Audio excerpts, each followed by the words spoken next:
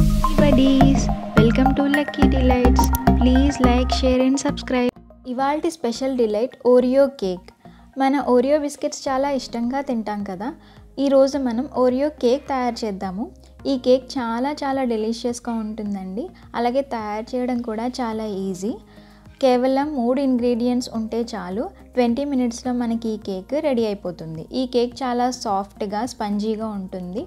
మనకి బయట బేకరీస్లో దొరికే స్టైల్లో లాగానే. So let start. దీనికోసం నేను ఒక ప్యాకెట్లోని ఓరియో బిస్కెట్స్ని తీసుకున్నాను. వీటిని ఒక మిక్సీ జార్లోకి వేసుకుంటున్నాను. వీటిని మనం ఫైన్గా పౌడర్ లాగా తయారు చేసుకోవాలన్నమాట. ఈ విధంగా వచ్చేలాగా మనం ఫైన్గా చేసుకోవాలి. దీన్ని పక్కన పెట్టుకోండి. ఇప్పుడు ఒక మిక్సింగ్ బౌల్ తీసుకుందాము. ఇప్పుడు ఈ మిక్సింగ్ బౌల్లోకి నేను షుగర్ యాడ్ చేస్తున్నాను. రెండు స్పూన్ల షుగర్. దీని బదులు షుగర్ పౌడర్ కూడా వాడుకోవచ్చు. ఇప్పుడు పాలు. ఇవి ఒక కప్పు తీసుకోండి. దీంట్లో సగం యాడ్ చేసుకుందాము. మిగతా సగాన్ని పక్కన ఉంచుకుందాము. సో ఇప్పుడు మనం బాగా మిక్స్ చేయాలన్నమాట. ఈ షుగర్ అంతా పాలలో బాగా కలిసేలాగా కరిగిపోయేలాగా. సో కరిగింది. ఇప్పుడు దీంట్లోకి మనం ఫైన్గా పౌడర్ చేసుకున్న ఓరియో మిక్స్ని దీంట్లోకి యాడ్ చేద్దాము. అంతా యాడ్ చేసిన తర్వాత బాగా మిక్స్ చేద్దాం. బాగా మిక్స్ చేసుకోండి. చేసిన తర్వాత దీన్ని ఈ విధంగా తయారవుతుంది. దీంట్లో మనం మిగతా సగం పాలు కూడా దీంట్లో యాడ్ చేయాలి. కన్సిస్టెన్సీ బట్టి మీరు పాలని అడ్జస్ట్ చేసుకోండి. అడ్జస్ట్ చేసుకుంటూ మనం దీన్ని ఇంకా బాగా మిక్స్ చేసుకోవాలి. సో బ్యాటర్ ఈ కన్సిస్టెన్సీ వచ్చాక నేను కొంచెం ఇందులో బేకింగ్ పౌడర్ యాడ్ చేస్తున్నాను. యాడ్ చేసి దీన్ని ఇంకా బాగా కలపండి. సో బాగా లంప్స్ లేకుండా ప్రాపర్గా కలుపుకొని మన బ్యాటర్ అయితే రెడీ చేసేసుకున్నాము. మన కేక్స్ మిక్స్ రెడీ అయిపోయింది. దీన్ని ఇప్పుడు పక్కన పెట్టుకోండి. మౌల్డింగ్ కోసం మనము ఒక స్టీల్ గిన్నె తీసుకున్నాను. దీంట్లో కొంచెం నేను నెయ్యి కానీ బటర్ కానీ వేసుకుని స్ప్రెడ్ చేసుకుందాము. గ్రీస్ చేసుకుని మనం పక్కన ఉంచుకోవాలి.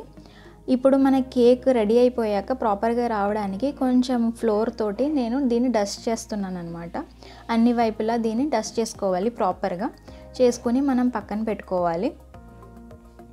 ఇప్పుడు దీంట్లోకి మనం ముందుగా ప్రిపేర్ చేసుకున్న కేక్ మిక్స్ ఉంది కదా దాన్ని దీంట్లోకి ట్రాన్స్ఫర్ చేసుకోవాలి. గరిటతో కానీ ఒకసారే కానీ వేయకూడదండి. స్లోగా ఇలా వేసుకోవాలి. దీన్ని బట్టి కేక్ మిక్స్ మనకి ప్రాపర్గా స్ప్రెడ్ అవుతుంది అన్ని వైపు. ఇప్పుడు దీంట్లో ఎయిర్ బబుల్స్ రాకుండా ఉండడం కోసం మనం దీన్ని కొంచెం ట్యాప్ చేయాలి ఇలా కింద. అన్ని వైపులా ఇలా ఒకసారి ట్యాప్ చేసుకోండి.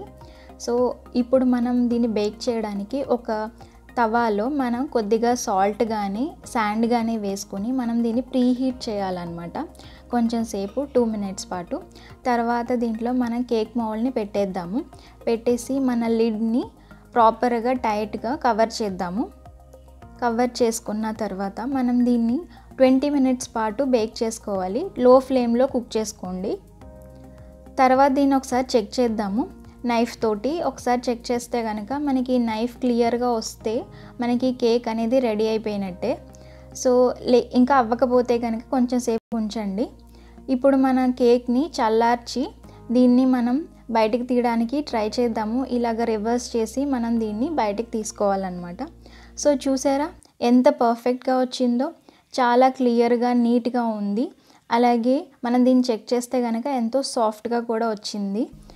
సో మనం ఓరియో కేక్ అయితే రెడీ అయిపోయిందండి. సో దీన్ని మనం ఇప్పుడు గార్నిష్ చేసుకుందాము.